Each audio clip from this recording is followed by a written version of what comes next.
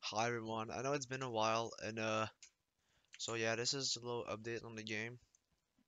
So this is gonna be the snow dungeon, uh which is a little thing I made with another guy. Um so yeah I'm gonna showcase this a little bit and uh yeah, enjoy.